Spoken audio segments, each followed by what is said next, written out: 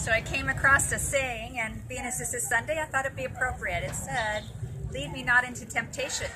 I can find it all on my own. And we at Diamond 57 want to give you a few temptations today. These are called our Trinket Dream Catcher pins.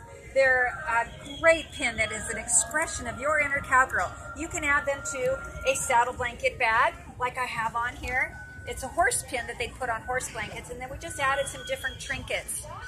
And they come in all different varieties. Something that will help express the things that you love about your lifestyle, about your attitude. Horses, horseshoes, lucky, lucky horseshoes. We've got guitars, stars, turquoise, whatever that is. We'd love to create something special for you.